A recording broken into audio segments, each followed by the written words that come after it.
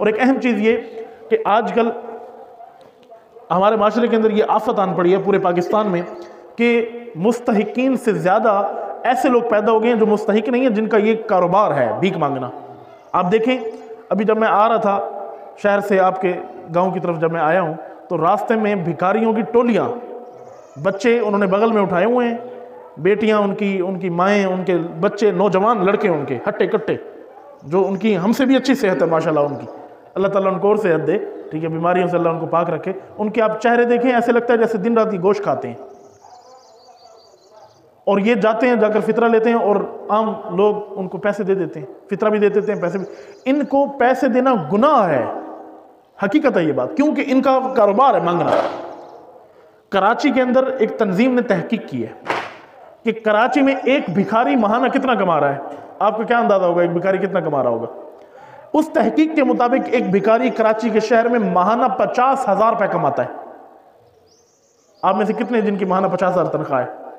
بہت کم ہوں گے۔ ہم مولانا صاحبان کی بھی پچاس ہزار نہیں بنتی، ماہانہ تنخواہ۔ تو وہ مولانا صاحبان سے بھی، عام بندوں سے بھی زیادہ وہ ایک سرکاری ملازم ہے، اس کی پینتیس ہزار تنخواہ ہے۔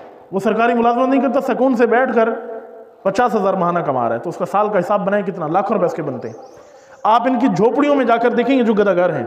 ان کے پاس موٹر سائیکل موجود ہوں گے، ان کے پاس رکشے موجود ہوں گے، ان کے پاس گائے بھینسے جانور موجود ہوتے ہیں۔ پنکھے ان کے پاس ہوتے ہیں۔ ایل ای ڈی لگا کے باقاعدہ میچ دیکھتے ہیں لائیو۔ ابھی پی ایس ایل ہو رہا تھا، مجھے کسی نے بتایا کہ انہی جھوپڑیوں میں جو یہ لوگ بھیک مانگتے ہیں، انہی جھوپڑیوں کے اندر انہوں نے ایل ای ڈی لگا کر باقاعدہ لائیو میچ دیکھے ہیں۔ یہ کہاں سے آئے ان کے پاس مال و دولت؟ ان کو پیسے، ان کو ایک روپیہ بھی دینا گناہ میں شمار ہوتا ہے۔ ان کو نہ دے۔ اس کے بجائے اس کو دیں جو واقع مستحق ہے، جو آپ کا غریب آپ دیکھیں اپنے رشتہ داروں میں، اپنے علاقوں میں کتنے ایسے غریب لوگ ہیں جن کی گھر کی روٹی پوری نہیں ہوتی بیچاروں کی۔